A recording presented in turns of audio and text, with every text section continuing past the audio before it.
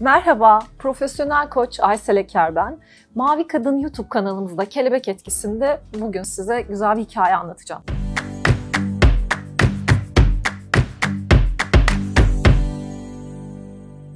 Düşüncelerimizle sonuçları üzerinde neler ortaya çıkıyor ya dair sizi etkileyecek 3 araştırma ve akabinde de 3 soru soracağım size. Şimdi araştırmalara geçmeden önce ünlü birinden bir söz paylaşacağım size. Kim bu ünlü biri?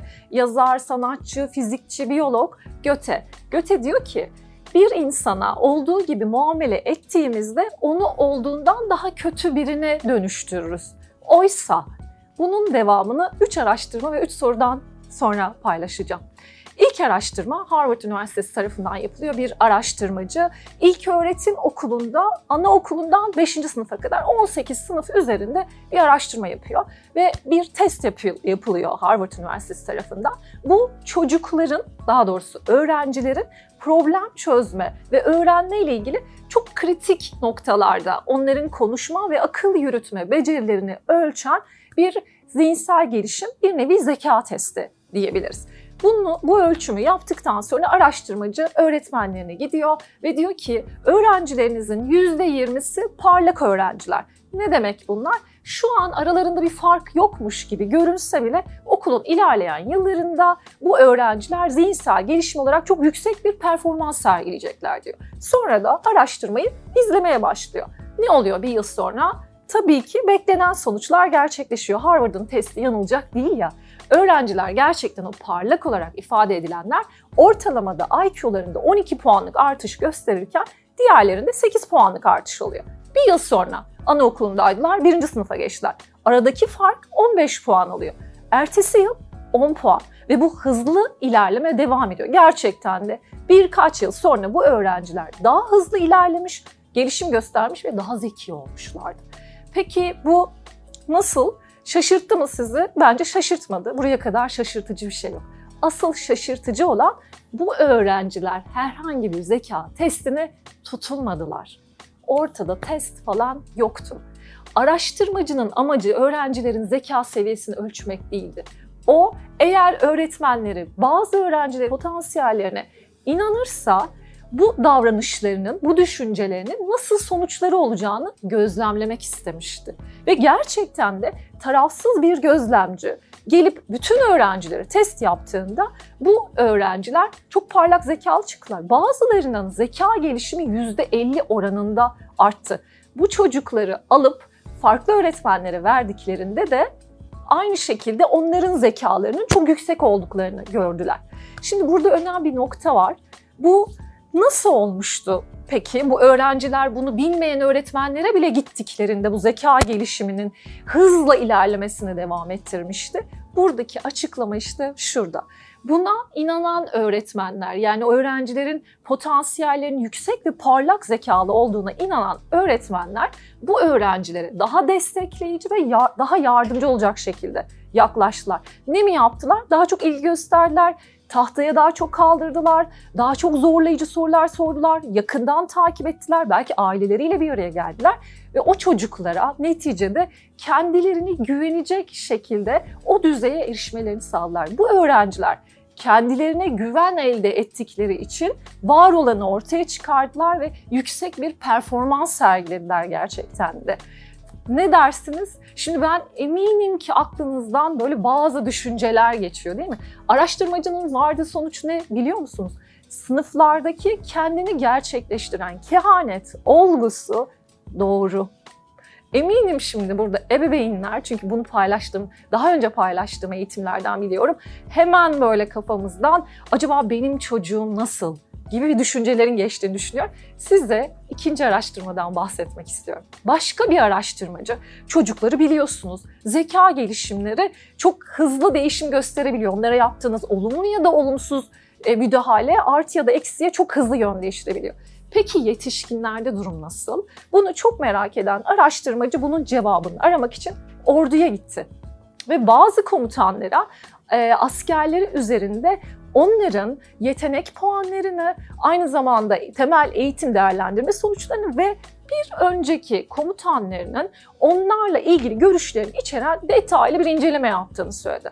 Ve komutanları dedi ki, yaptığım inceleme sonucunda bazı acemi askerleriniz diğerlerine oranla komuta potansiyeli noktasında olağanüstü potansiyele sahip.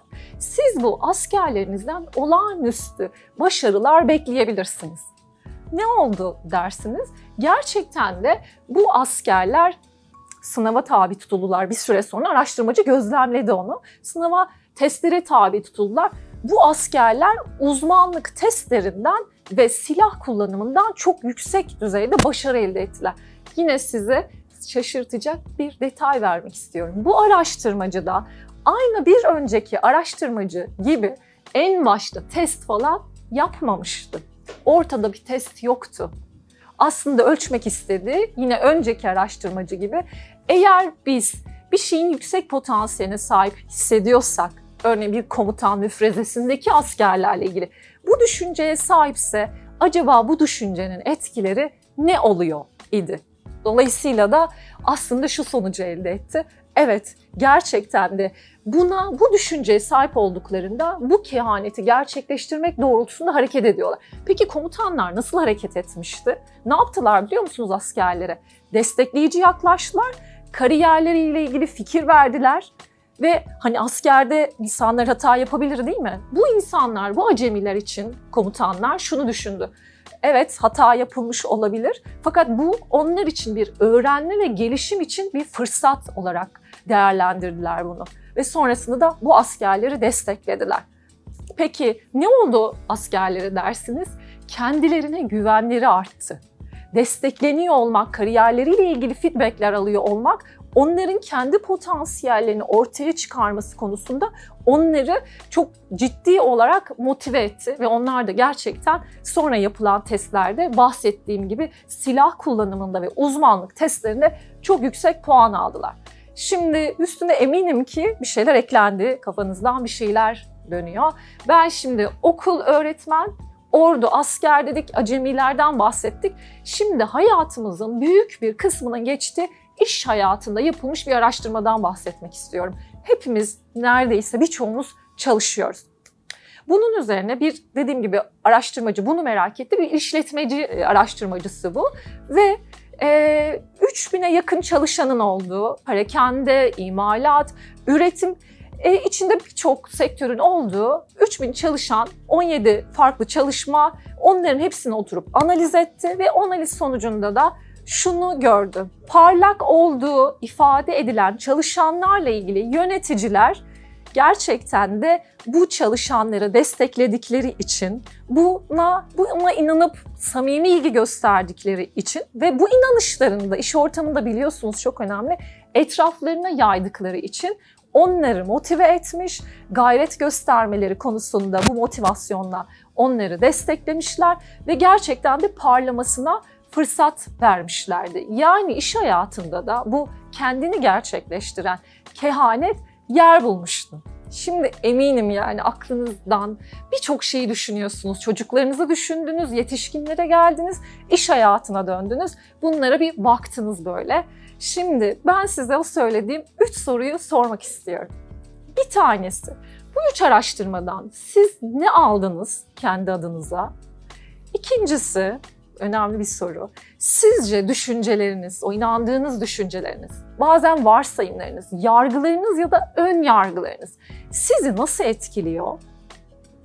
Ve gelelim üçüncü önemli soruya. Sadece tek bir bireyden ibaret değiliz, sosyal varlıkları. Sizce bu yaklaşımınız etrafınızı nasıl etkiliyor? Nasıl bir kelebek etkisi yaratıyor? Bunu sormak istiyorum. Cevaplarınızı bu videonun altına heyecanla bekliyorum. Bakalım sizler ne düşündünüz? Sizin cevaplarınız ne? Ben en başında söz verdiğim o cümleyi tamamlamak istiyorum. Ne demişti Göte?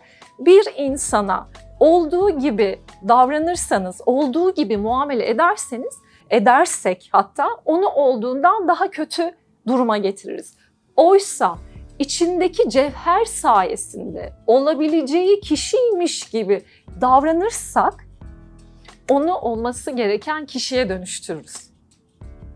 Bir sonraki videoda bambaşka bir konuyla yine Mavi Kadın YouTube kanalında Kelebek Etkisi'nde buluşmak üzere. Kanalımıza abone olmayı ve bu videoyu beğenmeyi unutmayın. Cevaplarınızı bekliyorum.